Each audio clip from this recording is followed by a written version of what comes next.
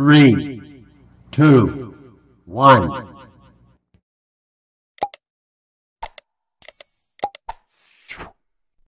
Hai, halo, assalamualaikum warahmatullahi wabarakatuh. Kembali lagi dengan saya di Hamster Farm Dumai Channel.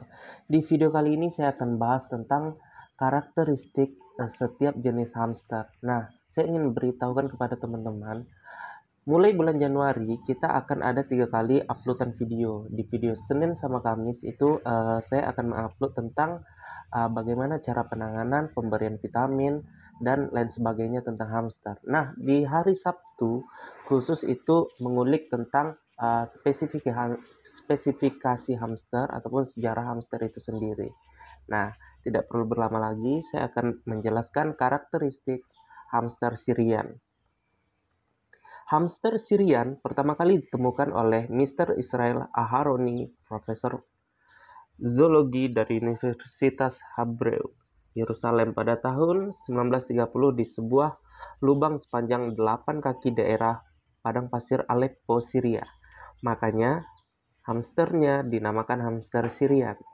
Hamster Syrian biasanya berjalan sepanjang 2-5 km per hari. Hamster Syrian menyimpan makanannya dengan sangat baik dan hati-hati. Istilahnya, mereka bisa menjaga makanan mereka sendiri dari air pipis mereka dan lain sebagainya. Biasanya mereka membawa makanan yang mereka dapat dengan cara menyimpannya di dalam mulut sekitar pipi. Lalu setelah itu ia keluarkan untuk dimakan. Nah, hamster Syrian adalah hamster yang paling besar di antara hamster lainnya. Sampai ada julukan untuk hamster ini loh, yaitu giant hamster. Dan lucunya lagi, hamster Syrian betina itu lebih besar dari hamster jantan.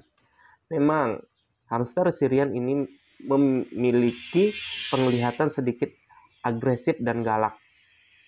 Dan walaupun tubuhnya paling besar, hamster Syrian suka menyendiri dengan kata lain hidup soliter. Makanya jangan terlalu sering menempatkan hamster Syrian dengan satu kandang dengan adanya hamster lain.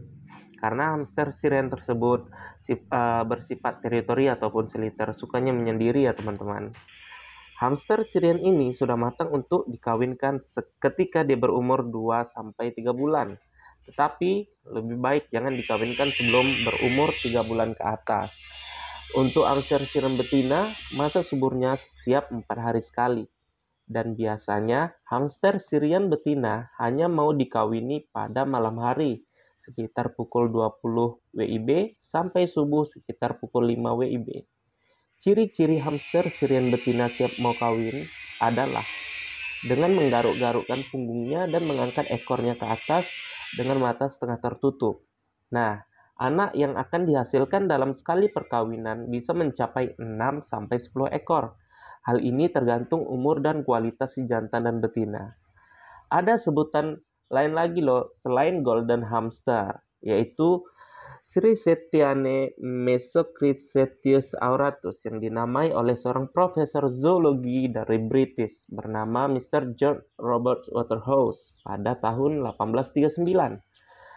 Kenapa dinamakan golden hamster? Karena mantel bulu asli mereka berwarna kuning emas dan hamster siren ini hanya memiliki tiga jenis warna, yaitu hitam, coklat, dan kuning keemasan.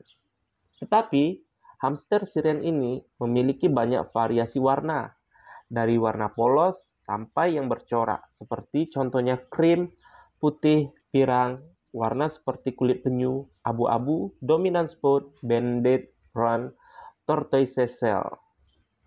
Hamster Syrian memiliki empat jenis bulu, yaitu short hair, long hair, rag, dan satin. Jenis bulu long hair ini paling indah, tetapi khusus hanya untuk hamster siren jantan yang bisa mengembangkan bulunya sepanjang 3-5 cm.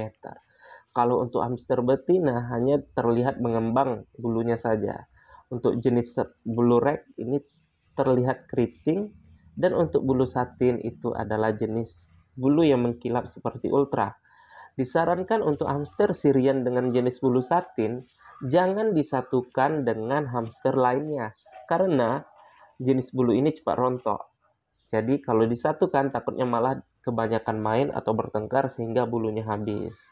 Nah, hamster Syrian juga uh, hamster yang sangat bersahabat uh, jika teman-teman ingin memeliharanya. Mudah sekali jinak kepada uh, yang memelihara dan juga mudah untuk dipelihara.